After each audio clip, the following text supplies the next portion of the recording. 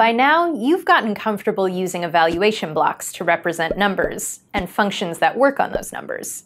But our programming language can do so much more. Take a look at this evaluation block. What is the name of this function? What inputs does it take? The first input is clearly a number, but what about the other two? The values solid and red are a new type of data called string. No, not like yarn. It's called a string because it is any number of characters, letters, numbers, even punctuation, strung together and surrounded by quotation marks. We usually use strings to represent words. A type is a category of values. 1, 2, negative 10, and 100.6 are all examples of numbers.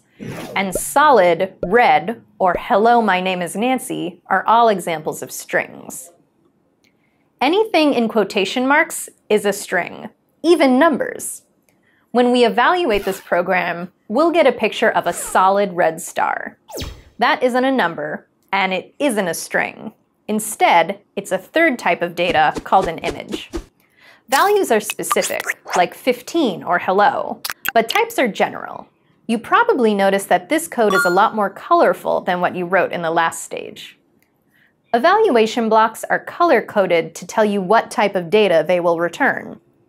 And the slots are color-coded by the type of data they need.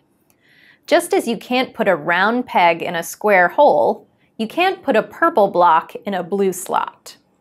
Numbers are blue, strings are teal, and images are purple.